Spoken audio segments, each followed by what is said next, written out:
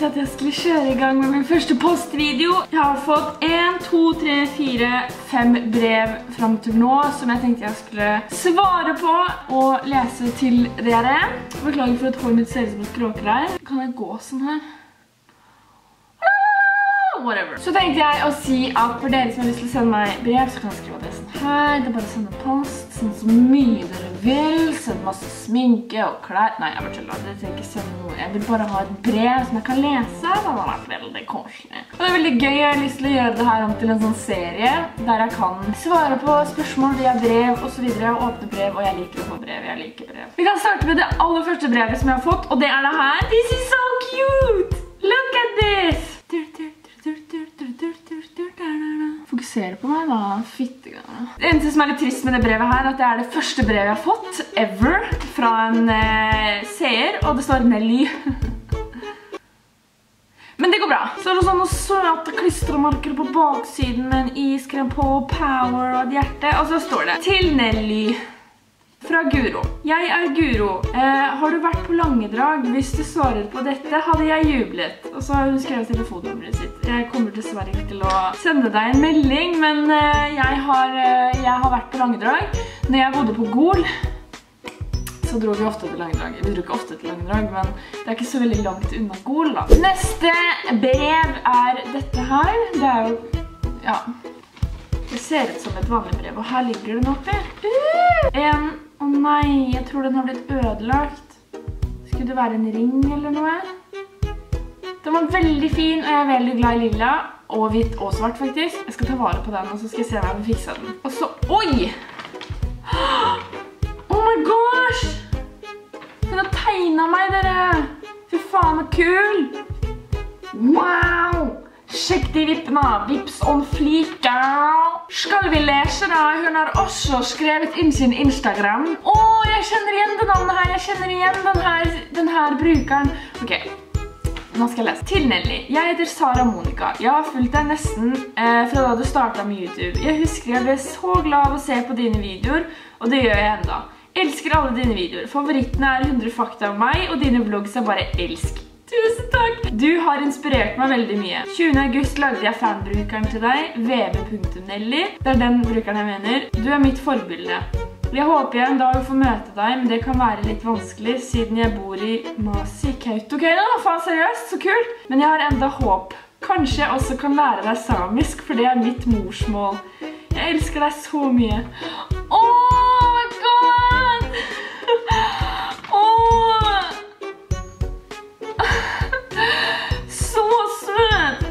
Instagrammen hennes er vbnelly, det er denne fanbrukeren. Og så har hun en privat en som heter saramonica.t.e. Dere må inn og følge den. Brev nummer uno da, to, tres. Wow. Dette brevet her er sendt fra Sydnes, Haugesund. Eller noe sånt. Det var langt vekk. Ok, shall we read? Yes. Åh, hun også har tegnet! Ok, jeg skal lese først. Hei Nelly, jeg blir sykt glad hvis du vil ha dette brevet med i videoen. Please følg meg. Love understrek to understrek draw understrek Ida. Åja, love to draw Ida. Jeg bruker veldig mye tid. Se! Oh my god, så flink! Så sykt! Tusen takk! Det var, å, de var kjempefine. Jeg skal finne en egen boks, eller jeg skal kjøpe en boks, og så skal jeg legge alle disse brevene her i den boksen. Så skal jeg tenke på dere for alltid. Ok, skal vi gå over til neste brev? Her også ligger det noe. Ellers var bare brevet veldig tjukt. Oi, satan. Her var det to brev. Jeg heter Hanna. Kjære Nelly. Du er best. Jeg har nå sett på dine YouTube-videoer i snart ett år. Når jeg ser på deg, så blir jeg så glad. Jeg er 12 år og har ADHD, og jeg ble mobbet i 6 år. Så jeg har liksom litt problemer. Så når jeg ser på deg, føler jeg du hjelper meg.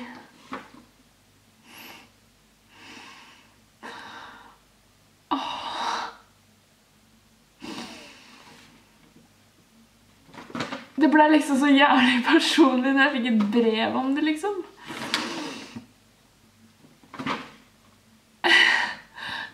Akkurat det her jeg lever for, det er akkurat det her jeg har lyst til å oppnå, og det er å hjelpe folk og bare være meg selv. Tusen hjertelig takk.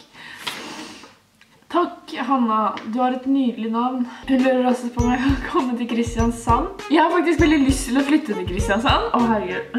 Om noen år har jeg veldig lyst til å... Altså, jeg har lyst til å liksom... Det er enten Oslo eller Kristiansand som jeg har lyst til å bo i, liksom. Sånn at jeg blir 100 år. Eh, så... Ja, kanskje jeg kan gjøre det. Og så har hun skrevet... Nelly Krokstad. Det var et brev til her. Å, det er tegninger! Å, jeg elsker tegninger. En katt! Å, jeg elsker jo katter! Det er en til katt her. Se, den er så flink hun er. Oh my god. Jeg elsker den her. Den var sykt fin. Dere er så flinke. Skal vi kjøre på med siste brev, dere? Å, Nelly, I love you. Se så fin den har tegnet bak. Åh, Jeg vil jo helst ikke... Åh, det var et lite hjerte fremme på der nå. Åh. Oi, det datt ut klistremerker. Åh, det er sånn love. Det er sånn, åh, da kan jeg feste det på Mac'en, og så er det en palme. De var sykt kule. Kom jeg fokusere da. Se dere. Nå ser dere også hvor jævlig fine negler det her. Åh, love står det her, og så er det en palme. Det skal jeg feste på Mac'en. Åh, det var det til. En fjær. Oi, det var masse! Åh, det er ikke klistremerker. Eller er det klistremerker? Se, og så er det sånn her. Åh, drømmefanger. Oh my god, er du seriøs? Er det her sånn tatueringer? Tatueringer, tatueringer. Og her, oh my god, er du seriøs? Så har du ikke trengt det her da? Åh, så glad jeg blir. Ok, skal vi lese brevet? Se, masse fine hjerter på. Kjære Nelly, du er så søt, kul, pen, tøff og en dritbra YouTuber.